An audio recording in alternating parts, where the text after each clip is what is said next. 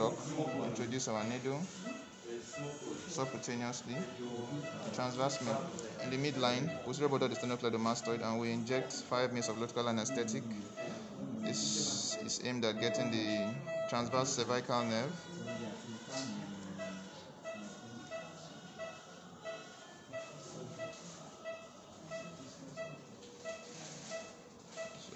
Once we have 5 mils injected, reposition your needle from the same mid posterior border of the sternocleidomastoid, we go superiorly. Okay.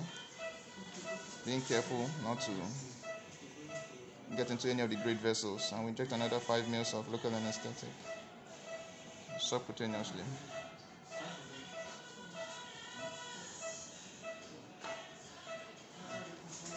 This is very good to help with um, the analgesia, both the intraoperative and the postoperative analgesia during thyroidectomy. Okay, and finally, we'll take, uh,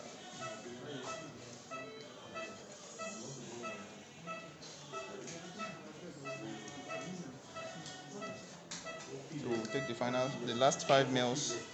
Inject midpoint again, midpoint posterior border of the sternocleidomastoid. Your needle pointing superior, inferiorly under the skin, avoiding all the vessels.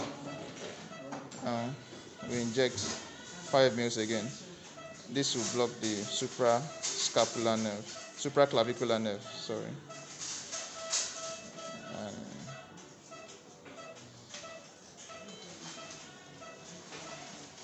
and there you have the superficial cervical plexus block.